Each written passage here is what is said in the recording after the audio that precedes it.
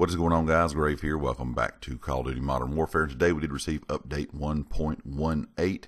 Now, this update is out for Xbox, PS4, and PC. Uh, I'm going to go ahead and hop right into it. There's a lot of stuff in this that I was not expecting with this update. They added a lot of uh, general fixes and things in here. I will link these patch notes down in the description if you guys would like to read over them for yourself.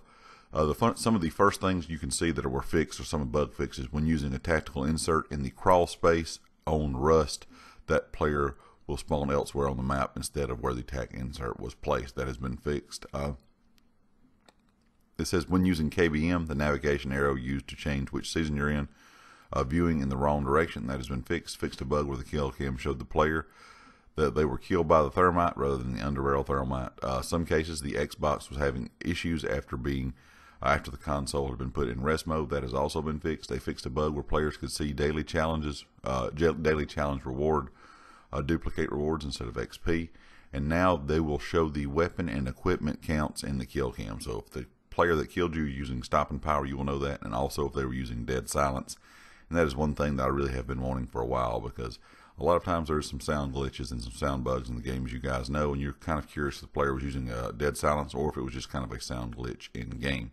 Now, when it comes to weapons, they increased the max travel time for the crossbow bolts from 3 seconds to 6 seconds for longer distance shots.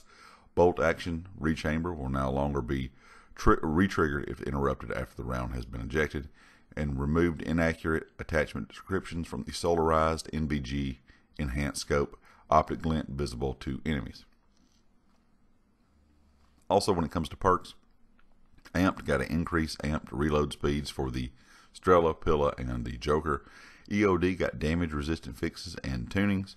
Also, when it comes to field upgrades, the Field Upgrade Pro stopped cases where failed field upgrade placements would cause equipment to be used. When it comes to the ta tactical insert, they added the broken tactical insert icon. Uh, shotguns now destroy deployable cover with three melee hits, added damage stats for vehicles and thermite damage. A fixed a bug replacing deployable cover on the door two times would allow the door to be moved. Also, allow the EMP drone to be used at the start of the round in, uh, in multi-round game modes, and they've doubled the amount of stopping power ammo given to the akimbo weapons. When it comes to PC, stun grenades are now less intense, and several fixes to prevent crashes and uh, improve stability. They also fixed some things uh, with the campaign and several spec ops fixes. I'm not going to go into all those spec ops fixes, but there were some things for that as well. So if you'd like to see those, definitely uh, read those patch notes down in the description if you're a spec ops fan. They fixed a bug that resulted in players falling through the map uh, uh upon spawning on tanks in Ground War. Also, uh, Warzone got some changes. New weapons can be found on the ground and in supply boxes. The 725 shotgun, the MK2 carbine, the EBR, and the uh, 50 GS handgun.